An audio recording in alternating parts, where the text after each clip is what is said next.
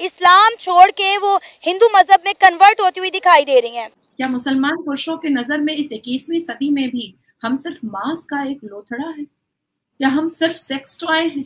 क्या हमें किसी किसी प्रोफ़ाइल पर देखना क्या सच में मुसलमान पुरुषों को या किसी को भी किसी भी पुरुषों को समझ में नहीं आता है? वो राजा हिंदू था दरअसल। असल में पाकिस्तान के साथ इलाहाक होना चाहिए था क्योंकि कश्मीर की ज़्यादा लोग मुसलमान हैं अक्सरियत मुस्लिम है तो पाकिस्तान के साथ इलाहाक होना चाहिए था लेकिन वो नहीं किया उन्होंने इलाहाक इस वजह से कि कश्मीर खुद मुख्तार बनेगा जब रेप करते हुए पकड़े जाते हैं मुझे लगता है ये रेप वीज़ा ना डिमांड कर ले कहीं आने वाले अरसे में वही आंदा भी इनके यही उनको फवाई मौत होनी चाहिए ऐसे लोगों को ऐसे फख्त सबसे फवाई मौत ही है इसके इससे बड़ी कोई फवा नहीं है मुझे ये बताया ना कि पाकिस्तानी जो मर्द हैं वो औरत को चाहे कहीं की भी औरत हो उसको अपनी जागीर क्यों समझते हैं? पाकिस्तान के अंदर तो चल रहा है तीन तलाकों का कॉन्सेप्ट है।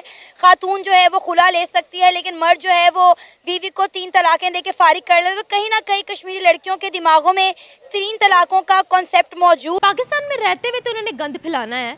बाहर जाकर भी उन्होंने सोने पे सुहागे वाला काम करना है। आ, वो इसका मतलब ये लोग मेंटल है। मेंटल आदमी क्या क्या करता है? मेंटल जो लोग होते हैं, वो गलत रखते हैं तो उन्हें पता नहीं है कि मैं कर क्या रहा हूँ। मुझे नहीं करना चाहिए। ये एक्ट नहायत ही ख़तरनाक है। इन लोगों को कड़ी सज़ा मिलनी चाहिए और मिलेगी। वहाँ पर गैर मुल्क में सिफारिश नहीं चलती। वहाँ पर इंसाफ होता है। जो कल मर्ज़ी क्राइम करें, वहाँ पर इंसाफ मिलता है। कोई सभी लोगों को मालूम ही होगा कि पाकिस्तान में कि गवर्नमेंट जो है कि लॉ के लिए पास की थी कि कुछ दिन पहले की एक मर्द जो है, दो शादियाँ करना उसके लिए अनिवार्य है। अन्यथा दोस्तों सभी लोग को मालूम को उससे कुछ रिस्ट्रिक्शन लग सकती हैं। ये सब देखते हो दोस्तों सभी को बता दें कि मुस्लिम लड़कियाँ जो कि हिंदू लड़कों से शादियाँ कर रही हैं, जम्मू कश्मीर में भी, जम्मू उनके आज़ाद कश्मीर में। क्योंकि दोस्तों सभी लोग को मालूम है कि उन्हें भी पता कि जो हिंदू होते हैं, लड़के होते हैं, हिंदू कल्चर होता है, उसमें एक ही शादी होती है और वो समझो कि सातों जन्म के लिए रह जाती है, वो मनौती होती है। इस वीडियो में देखते हैं पाकिस्तानी पब्लिक इस पर क्या बोलती है? कि कश्मीरी लड़कियाँ कश्मीरी लड़कों को छोड़कर हिंदू लड़कों को शादी के लिए ना सिर्फ़ प्रेफर कर रही हैं बल्कि अपना मज़हब भी जो है उनके लिए तब्दील कर रही हैं। इस्लाम छोड़ के वो हिंदू मज़हब में कन्वर्ट होती हुई दिखाई दे रही हैं। देखें इसके सबसे बड़े जो हैं वो जो ज़िम्मेदार है वो हमारी मतलब ख़ुद एक तो हुकूमत है। क्योंकि यही अगर मतलब जो कश्मीर है जम्मू कश्मीर की आप बात कर रही हैं तो उनके साथ मतलब खड़े नहीं होते स्टैंड नहीं कर रहे जिसकी वजह से वो कश्मीर बेचारा इंडिया के हत्ते चढ़ा हुआ है। अच्छा। ठीक है जिसकी वजह से वो बेचारे उनके यंग जो लोग हैं यंग शोहर हैं मतलब जो यंग पीपल है वो मर जाते हैं। इंडिया की लड़कियाँ प्रेफर करती हैं हिंदुओं लड़कों को और वो इस्लाम फिर मतलब और सबसे बड़ा जो है दूसरा अलमिया ये है कि हमारा सोशल मीडिया है। जिसकी वजह से सोशल मीडिया तो हर जगह है ये नहीं कि सिर्फ़ पाकिस्तान में है जम्मू कश्मीर में नहीं नेट तो हर जगह है। तो वो मतलब देखती हैं वीडियोस वगैरह देखते हैं, उनके जो वालदे हैं, वो तो ख़ास वीडियोस देखते होंगे। तो जैसे पाकिस्तान के ड्रामे में कल्चर जेज़ का बढ़ता जा रहा है, और वो फिर जैसे जेज़ का मुतालबात होते हैं लड़कों से, वो पूरे नहीं होते, वो लड़के बेचारे होते गरीब हैं, और कश्मीर में जो है वो इतना मतलब तरक्की के मौके ही नहीं है, ना फैक्ट्रीज वगैरह ना वो है। तो वो जिसकी वजह से फिर जो हिंदू हैं, उनको आसानी मिल जाती है। हमें अच्छा मतलब इमेज देना चाहिए गैर मुल्कियों को। रेप करना ये नहायत बहुत बुरी बात है। इससे कोई भी आदमी सुनेगा और इसकी मजामत करेगा। मैं इसकी पूरी ज़ोर मजामत करता हूँ। मैं अब ये मैं ये पसंद नहीं करता। क्या मसला है? वो भी गैंग रेप किया है। तीन पाकिस्तानियों ने मिलकर वीडियो फुटेजेस भी आई हैं। उन्होंने विद प्रूफ पकड़ा है। क्या मसला क्या है? इनसे लड़की बर्दाश्त नहीं होती। लड़की का स्ट्रक्चर बर्दाश्त नहीं होता। क्या मसला है इनके साथ? ये ये मैं ये जो कह रहा हूँ। इनकी ये जहनीत गंदी है। ये गंदी जहनीत के लोग हैं जो इस तरह लड़कियों के साथ गैंग गैंग रैप तो ये तो बहुत ही बुरी बात है। ये तो कोई भी आदमी पसंद नहीं करता। हर आदमी मजामत करेगा। मैं पुरजोर मजामत करता हूँ। मैं क्राइम नहीं करता। रेप केसेस जो बाहर होते हैं उनमें पाकिस्तानियों का हाथ ज़रूर शामिल होता है। नाम ज़रूर लगवाते हैं क्या मसला क्या है? ना मसला ये है कि उनकी जहनीत ख़राब है उनका दिमाग वो राजा हिंदू था दरअसल। असल में पाकिस्तान के साथ इलाहाक होना चाहिए था, क्योंकि कश्मीर की ज़्यादा लोग मुसलमान हैं, अक्सरियत मुस्लिम है। तो पाकिस्तान के साथ इलाहाक होना चाहिए था, लेकिन वो नहीं किया उन्होंने इलाहाक, इस वजह से कि कश्मीर खुद मुख्तार बनेगा। जब खुद मुख्तार उन्होंने बनने की वो की तो फिर साजिश ही हुई और फिर उनका इलाहाक इंडिया से हो गया। तो ये वजह थी कश्मीर के इलाहाक होने की, इंडिया के साथ, क्योंकि वो कश्मीरियों की अपनी गलती थी। और जहाँ भी अब कश्मीरियों की अपनी गलती है, वहाँ के के साथ जब इलाहा करने की बात हुई, जब फौज ने मिलाने की कोशिश की, फिर उन्होंने रैलियाँ निकाली, फिर उन्होंने जुलूस निकाले, मरे, और इसके अलावा जो अभी जम्मू कश्मीर की जो लड़कियाँ हैं, वो इंडियों के, इसलिए प्रेफर कर रहे हैं हिंदुओं को, क्योंकि जो कश्मीरी लड़के हैं, वो मर रहे हैं, कश्मीरियों को भारतीय मार रहे हैं। जब वो मर जाएँगे तो फिर कैसे शादियाँ करेंगे? बाकी जब लड़की किसी कश्मीरी से शादी करने का सोचती है तो उसके जहन में ये बात होती है कि भाई, अगर मैं इससे शादी करूँगी तो कल बेवा बनने के लिए मैंने तैयार रहना है। तो इस वजह से वो हिंदुओं के साथ शादी करने के लिए तैयार रहती है। क्या मुसलमान पुरुषों के नज़र में इस इक्कीसवीं सदी में भी हम सिर्फ़ मांस का एक लोथड़ा है? क्या हम सिर्फ़ सेक्स टॉय हैं? क्या हमें किसी किसी प्रोफ़ाइल पर देखना, क्या सच में मुसलमान पुरुषों को या किसी को भी, किसी भी पुरुषों को समझ में नहीं आता है? लोग हमेशा मुझे टारगेट करते हैं कि मैं तो मुसलमान के खिलाफ बोलती हूँ, पर कुछ इंडियन मीडिया का और इंडियन यूट्यूबर्स का इवन के जम्मू कश्मीर के सहाफ़ियों का ये कहना है, क्योंकि जम्मू कश्मीर में अभी तक शरीयत का लॉ चल रहा है। तीन तलाकों का कॉन्सेप्ट है। खातून जो है वो खुला ले सकती है लेकिन मर्द जो है वो बीवी को तीन तलाकें दे के फारिग कर ले तो कहीं ना कहीं कश्मीरी लड़कियों के दिमागों में तीन तलाकों का कॉन्सेप्ट मौजूद है।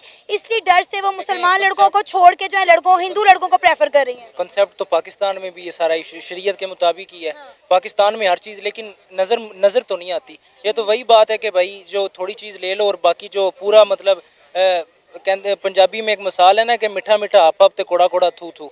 ये तो वही मिसाल है कि भाई जो अच्छी अच्छी चीज़ें हैं वो ले लो और जो मतलब कि आपको चुभती हैं, उनको छोड़ दो। इस हमेशा शैला पाकिस्तान के चैनल पर बैठ करके ये कहा है कि नोटिस कीजिए कि आपके मुसलमान पुरुष पॉर्न मूवी सबसे ज़्यादा देखते हैं।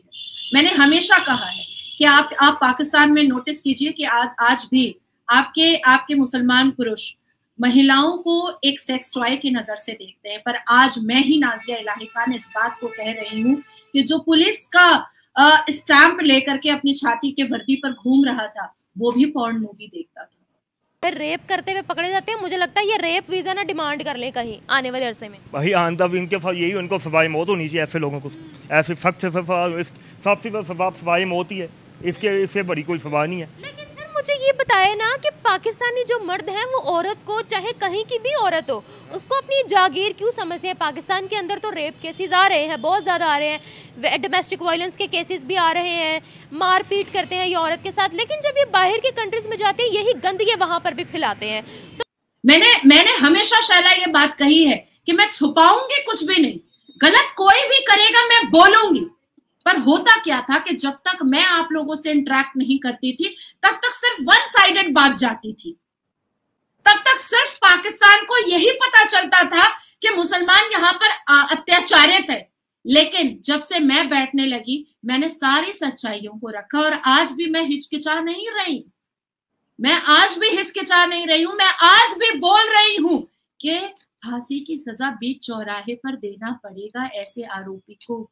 बीच चौराहे पर। सभी लोग को मालूम है कि हिंदू हिंदू में एक रीति रिवाज होता है कि एक शादी करने के बाद दोस्तों दूसरी शादी नहीं होती है और एक ही शादी से समझो कि पूरी ज़िंदगी साथ चले या ना चले, अगर मर भी जाए तो दोस्तों सभी लोग को मालूम बहुत रियर केस होता है कि दूसरी शादी करे, लेकिन अगर आधा समय निकल चुका है तो बंदा शादी नहीं करेगा, भले से वो अपनी ज़िंदगी अकेले ही निकाल देगा। लेकिन दोस्तों मुस्लिम में ऐसा नहीं होता है। अगर दोस्तों वो तीन तलाक का नाम सभी लोगों को सुना होगा, किस प्रकार से तीन तलाक ने भारत में उसे तो भारत गवर्नमेंट ने इसको बैन किया है लेकिन पाकिस्तान में आज भी ऐसा नियम चलता है, तीन तलाक वाला। किस प्रकार से उनकी बहन बेटियों का, उनके जो तीन तलाक देते हैं, जो मर्द, लड़कियों को दोस्तों सभी लोग को मालूम होगा करियर बर्बाद हो जाता है। किस प्रकार से उनकी समाज में इज़्ज़त रह जाती है मतलब ऐसे गिरे हुए पाकिस्तानी इंसान दोस्तों की चार चार पाँच पाँच सजा करके बैठे हुए हैं, खाने के लिए रोटी नहीं है दस दस एक दर्जन दो दो दर्जन बच्चे पैदा कर रहे हैं और बोलते हैं दोस्तों की महँगाई जो कि भारत की वजह से हुई है, भारत ने हमें नीचे गिराया है, भारत डैम खोल देता है, पानी भर देता है मतलब अनेक प्रकार के इल्ज़ाम भारत पे डालेंगे, वहाँ पर बम बारूद बनाकर दुनिया भर को मार रहे हैं और बोलते हैं कि भारत ने सब कराया मतलब कि